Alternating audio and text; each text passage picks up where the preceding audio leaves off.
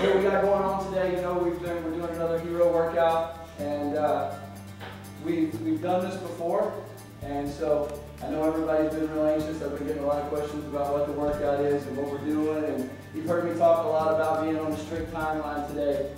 With these, with these hero workouts, you remember the goal for today is to honor the person um, through our work, through our effort in the workout, honor the person through the work, um, and, and give them, I guess, the respect they deserve through our hard work and our effort. Kyle Carpenter was given the Congressional Medal of Honor. It's the highest honor a military serviceman can receive. It's presented by the President of the United States. And I would love so much to be able to stand here and tell this story for the next hour, but I thought it would be much cooler if it actually came from him. So today you guys, Kyle, on in. You guys will say hi.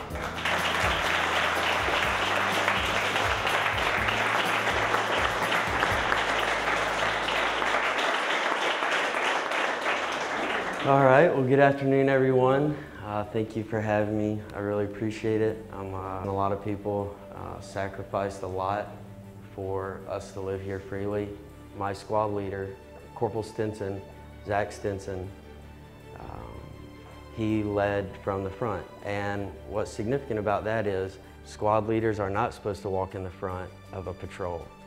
Obviously, the one in the front is most likely to step on an IED, which is a bomb planted in the ground, or um, is more likely to um, you know, get shot by enemy snipers, uh, by any attacks that are initiated. So the front is a very dangerous spot.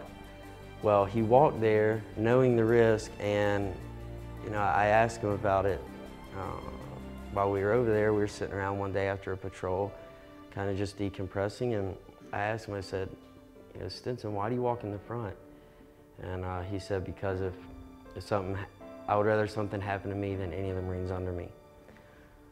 So, you know, that was, that was talking about leadership. A lot of people can talk about leadership. Well, uh, the time after that, as we were headed out on this patrol, headed towards Eastern Village, uh, Corporal Stinson, as always, was walking in the front. And uh, I was about four Marines behind him. And we were about halfway to the Eastern Village and a, a very loud explosion went off. Dust was all in the air. It was a total fog of war. Debris was raining down. And this was a very good sized explosion. Uh, Tessa, Corporal Stinson's wife, was pregnant at the time with their daughter Olivia.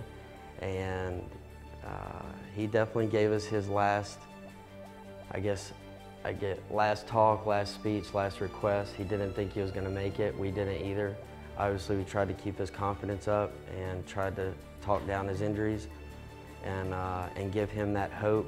But uh, as Marines, we kind of know what we're getting into and uh, we do a lot of training as far as injuries go and it's easy to look at major injuries and uh, be realistic and know that there's a good chance that he knew and we knew that he was not going to wake up and uh, survive to see his daughter born. So he told us his last request and uh, he was alive, very shallow breathing when we put him on the medevac helicopter, which finally arrived after, I'm sure it was just a few minutes, but it seemed like hours. Uh, as far as Corporal Stinson goes, we spent the next little over two years together in the hospital recovering together. Uh, I became best friends with him and his family. His daughter, Livy, was born and she's out of control and they're they're due for another one uh, in the next few months. So he survived. He's a double amputee. He lost both of his legs and both arms he has left uh, were severely damaged. But uh, like I said, you know, he told me why he walked in front before. And then his actions occurred. And uh, it obviously summed up and put everything into action that he had spoken about and the leadership that uh, he had showed us before that happened. So I don't know how much I have to hit on. I hope just that simple story shows you just a true example of sacrifice and leadership. Somebody that stepped up and went in front even though it was going to be hard, even though he could possibly get injured, and in this case, even though it almost very much cost him his life. So uh, yeah, there's a there's a lot of hardship, a lot of heartache, and a lot of really dark places around the world. But uh, we're very fortunate and blessed in this country to have what we have. So I'll just really say be appreciative for the, the small and simple things we have. At the end of the day, those are those are really incredible things that a lot of hard work and a, a lot of blood, sweat, and tears over, since the founding of our nation has happened for that. This is the most cliche thing ever, but it really isn't always about winning. There's, you know, when you're always focused on winning or, or getting that medal or whatever it is, that's awesome, but uh, you're gonna realize a lot of the things, uh, you know, that, that came second to, to the medal to the first place and to, to being the absolute best you can be now is the, the simple things that you learned and the relationships you formed and just the good times and, and the education you got from it. So, uh, you know, like I said, I wish I could stand up here and, and, tell you everything that I could possibly remember and any lesson that I ever learned, but appreciate where you live and the, and the country you live in and, and everything it took to get here. The workout, the workout that we're doing in honor of Corporal Kyle Carpenter, we're gonna go three 200 swims in the pool. After each 200, uh, the athlete has to hop out and they have 20 burpees on the end of the deck. After the third 200 finishes, they're gonna put on running shoes. They're gonna do a one lap run, all right, around our backfield back here. And then on the far end of the field, uh, we have a pull-up bars back there. So we'll go, guys will have five pull-ups, the girls will have three. And then once they run the rest of the circle around the lap, they'll have 20 kettlebell swings or kettlebells that are set up outside. They run back inside and we have two 200 swims here separated by 20 burpees.